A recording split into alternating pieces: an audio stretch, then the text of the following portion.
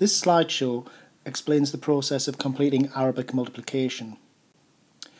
Using a traditional method for multiplication, say 34 times 6, would normally be set out like this, where we'd first of all calculate 6 lots of 30, being 180, then 6 lots of 4, making 24.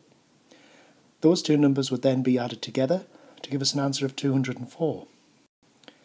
The traditional method becomes tricky once you begin to multiply by more than one digit.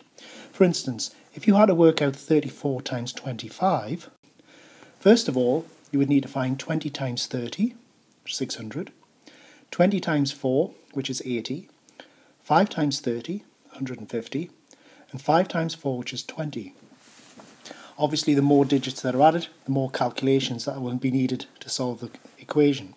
The answer in this case coming to 850. Using the Arabic method, first of all we begin by drawing a grid, very similar to the traditional grid method.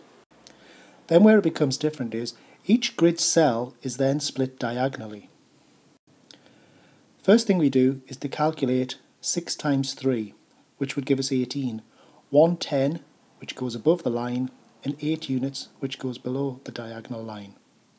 Next, we need to work out 6 times 4. That gives us 24 two tens and four units. To understand how to work out the answer, we must imagine that these stripes work diagonally, and we have to work out the um, total of each diagonal stripe.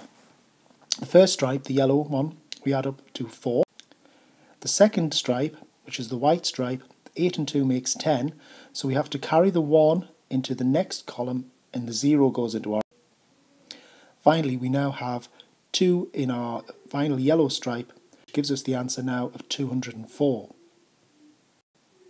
This seems a little long-winded, but it's much easier when multiplying by more than one digit. For example, let's take 25 times 34 again. I've already drawn out the grid with the diagonals already coloured in. And when working with children, it's a good idea to get them to shade in one of the diagonals first. This makes it easier for them to see the patterns. You can see now that the calculations have been carried out. 2 times 3 gives us 6, so 0 tens and 6 units. 2 times 4 gives us 8, 0 tens and 8 units. 5 times 3 gives us 15, 1 10 and 5 units. 5 times 4 gives us 20, 2 tens and 0 units.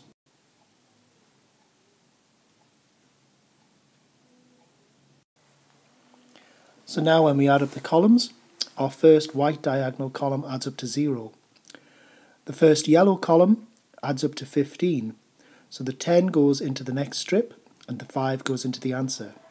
Finally, our white column now adds up to 8, making the answer 850. Notice there is 0 in the yellow column at the top, that's no longer needed. The same method can be used regardless of the number of digits in each number it's quite possible to multiply numbers in the millions by numbers in the millions and still get an accurate answer. Table facts are only needed to be learned up to 9 times 9, as you never have to answer um, a calculation higher than that.